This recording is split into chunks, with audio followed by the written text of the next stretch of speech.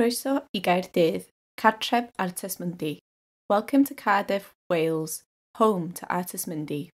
Fel un o'r prif sefydliadau i'r celfyddydau gwledol yng Nghymru ac iddo ffocws rhyngwladol, mae Artes Mundi yn ceisio creu cyfleoedd unigryw i unigolion a chymunedau ymgysylltu'n greadigol a materion brys ein hoes, mewn ffyrdd sy'n taro deuddeg i ni gyd rydym yn ymrwymedig i ysgogi deialog a thrafodaethau yn rhyngwladol ac yn lleol, sy'n datblygu dealltwriaeth helaethach yn gilydd o bobl eraill a'r berthynas rhwng diwylliannau cyfarwydd a phell. As the key internationally focused visual arts flagship organisation in Wales, Artist Mindy seeks to generate unique opportunities for individuals and communities to engage creatively with the urgent issues of our time in ways which resonate with us all. We are committed to stimulating dialogue and debates internationally and locally, that develop greater understanding of ourselves, of others, and the relations between familiar and distant cultures. Cyflwynir yn nawfed rhifin o arddangosfa eilflwydd ar Tesmyndi a'i gwabr gysylltiedig eleni mewn tair canolfan ar draws y ddinas. Ein partneriaid yn Amgueddfa Genedlaethol Caerdydd, Chapter a G39. The ninth edition of the Biennial Exhibition and Associated Artist Mendy 9 Prize is presented this year in three venues across the city. Our partners at National Museum Cardiff, Chapter, and G39. Shemai. Hello, everybody. I'm Nigel Prince, the Director of Artes Mundi. Welcome to this event in celebration of the announcement for the Artes Mundi 9 Prize winner. To begin with, we want to start with some short introductory videos for each of the shortlisted artists. We begin with New York based artist Firelei Baez.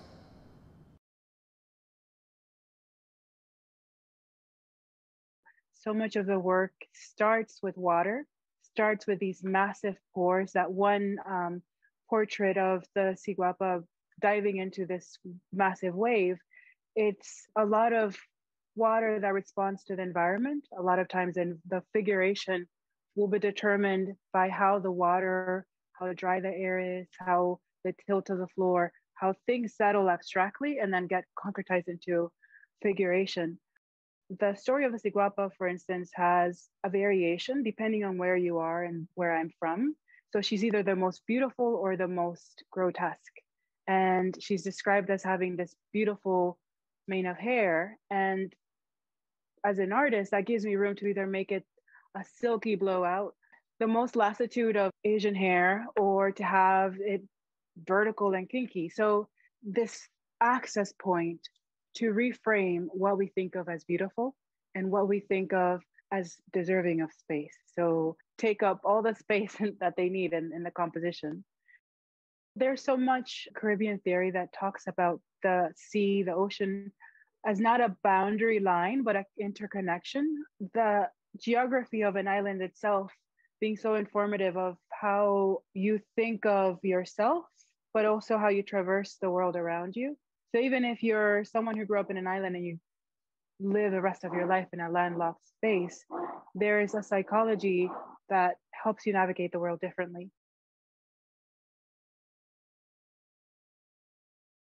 I was thinking um, a lot about Gordon's scars. Gordon, the enslaved man who had been beaten, um, and he has those scars that are almost like um, like waves or, or mountainscapes on his back. And while I was uh, on the ocean, I was thinking a lot about his scars and uh, trying to draw them, and then also drawing the the water. So somehow thinking um, about slavery, the memory of it, uh, the scars, but also what water does as well, the, the soothing element of it, and the rocking.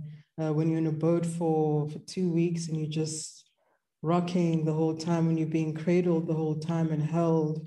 Uh, what is that in combination with the, um, the memory of people who had uh, different experiences of crossing water? I'm from uh, Limpopo, uh, which is a landlocked uh, area in, uh, in South Africa. so the ocean is a bit far, but the rivers, they're many. So that's um, part of the genesis of the work, considering water, considering land, considering uh, trauma, considering wounding, considering sound, the sound of water, the sound of the earth, the sound of what's remembered and what's forgotten, remembering oneself with the, the primal elements as well, remembering a story with the, the primal elements and the effect of the primal elements on the story, and whether those elements are also witnesses to, uh, to our everyday and also to our past as well, and of course, the futures.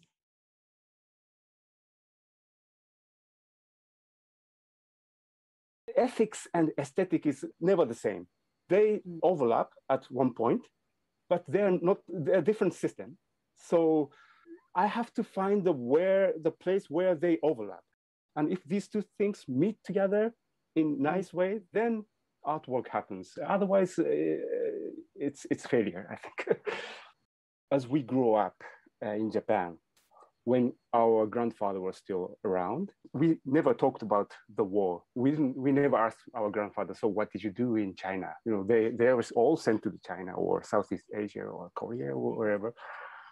But we never asked them these questions. But in the air, we could feel that you know something is repressed all the time.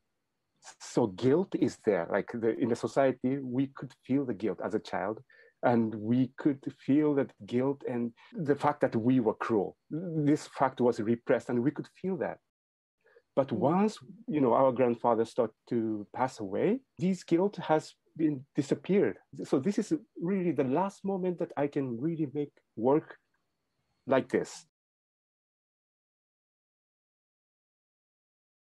i had in my mind that there wasn't this idea of making a character but there was this idea of like making individuals. Like how i see these uh, people as a character this uh, object as a character or any uh, like story like some of the stories which i really uh, liked you know from my hometown. Different people like and to be able to uh, engage with their own uh, oral stories and engage with their own proverbs or methods or sayings it was quite tough in initially to for me to engage uh, into art. Uh, I grown up in a, uh, a place called Sasti, coal miners town, and also the farmers town. I was not able to, you know, like learn about formal education about art.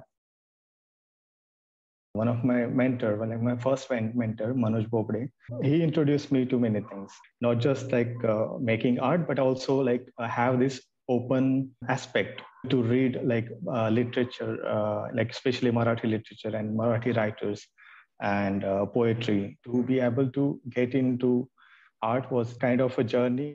I, I finished my master's in uh, MS University in Baroda. So when I went to Baroda, everything changed for me. Like politically, socially, like how I see things, like and how how would I show things through my art.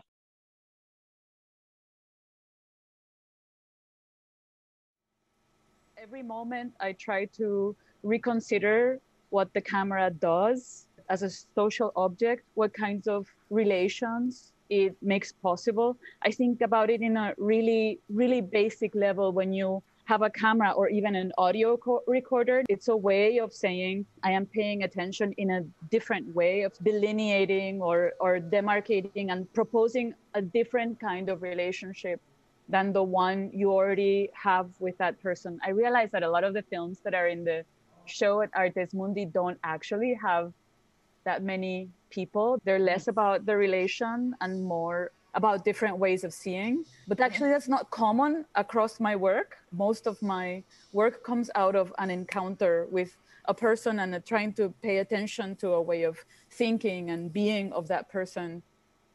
I related to this idea of the encounter using recording devices or the questions that a camera can bring, like who looks, where does the image circulate, what kinds of meanings does it accrue, what does it mean to the people that you are filming, and what does it mean once it circulates. You have to realize that most people in the Caribbean have been mostly subjects of the camera. But the work that is made is not directed at us. We're not supposed to be the viewers, you know? This is something that's always in my mind, you know? I'm, I'm the primary audience for the work I make is the people that you first see in the films themselves. And I'm thinking of the films as something that I am making with them and for them.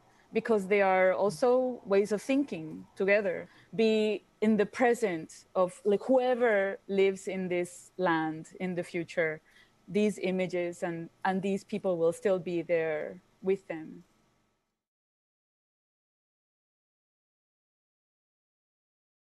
I started my career in looking at and organizing around what other artists had done. And I spent a lot of time traveling around the country, doing interviews with other artists.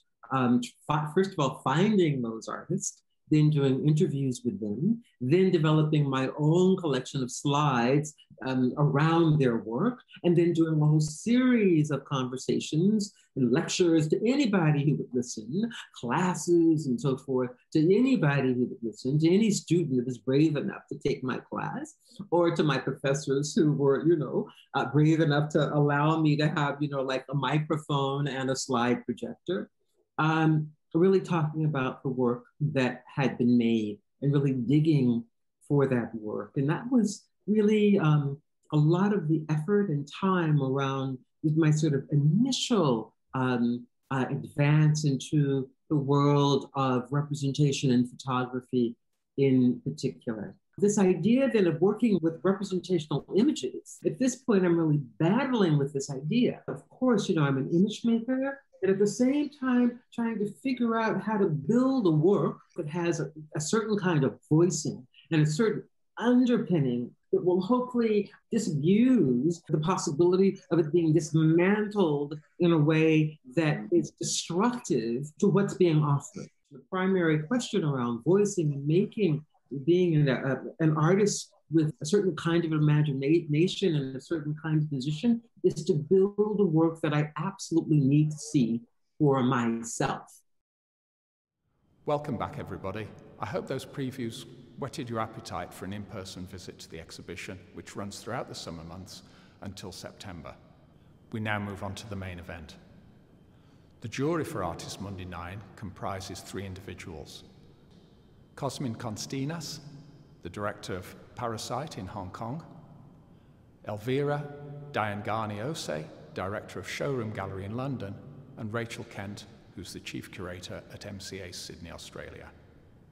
At their recent meeting, the jurors reached the unanimous decision through intense discussion that the Artes Mundi 9 prize should be awarded equally to all six artists. We're delighted to embrace and celebrate that decision. Earlier today, I had a video call with the three jurors. We'll now cut to a series of short extracts from that conversation where they shed light on their decision making process and the discussions that ensued.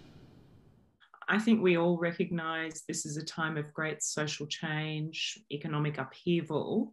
So, as a jury, we reached a collective and unanimous decision to award the Artes Mundi Prize to all six participants this year. Uh, we've done this for a couple of reasons, really. I mean, first of all, in recognition of the context in which all of the artists are producing their work, but also to acknowledge each individual practice because they're outstanding in merit. They've been made especially for this exhibition under great constraints, and we felt they're powerfully relevant today. I think that this decision is not entirely unprecedented nor mm-hmm. groundbreaking in the sense that artists uh, and juries uh, across several other awards in the past few years have um, stood up against um, the idea of awards and, and what of, of, of awards in the art uh, world and um, their celebration of competition and individualism and hierarchies. Um, but I hope that this decision will um, help as much as possible to bring uh, an, an end to this understanding of, um, of um, grants and awards uh, as fostering something that art should be completely against. Art should be uh, about, uh, should, stand for everything that is in opposition to competition and uh, hierarchies and uh, individualism um, understood in this way. Uh, so um, we hope that this is a contribution to a broader conversation. But at the same time, as Rachel said, this is also a very personal acknowledgement of the incredible work um, and uh, contribution and sacrifices that um, the six artists have um, all demonstrated in a accumulated many decades of, of, of work uh, together. Well, I, uh, I mean, I echo what my uh, fellow jurors had um, had mentioned the times and the particular decision, as you say, um, the contribution of these incredible artists to their not only um, con context, immediate context, but also laterally to the art world. And I will also praise the, the, the, particularities of Artes Mundi that make possible through exhibition making the presentation of a finalist that in a way our decision as a jury was taken before all the exhibition happens with the, the celebration of the six artists and the complexity that they bring all together in dialogue with the different aspects of their practices to, to or they could bring to the, to the city of Cardiff. No? And I think exhibition making in this way and, and also offered the public to engage with it, to, to also make their own interpretation and experience of the work is crucial uh, for our decision. And I think that was uh, very critical. I mean, I, I think uh, Cosme uh, is right in highlighting the fact that art should be looking at other aspects of what it means to produce um, experiences about uh, the day and now, about revisioning history, about talking about sociopolitical issues that are perhaps uh, complex um, and more difficult to um, to engage with in other instances. No? I think it's important to add to another dimension to our conversation, you know, as jurors, is that all of these six artists represent something very different and very unique. I mean, you mm-hmm. know, different regions, different media, different kinds of practice, also different career points. You have very, very senior artists who've been working for many decades, as well as artists in earlier career stages within this selection. So, again, to try and compare, contrast, select one person for acknowledgement is almost arbitrary. Makes a lot more sense to recognize the totality of those practices and how they converse with one another. Congratulations to Firelei, Dineo, Beatrice, Meiro, Prabhakar and Carrie. I'd also like to take this opportunity to thank funders, supporters, partners and colleagues who've made the ninth edition of Artes Mundi such a great success.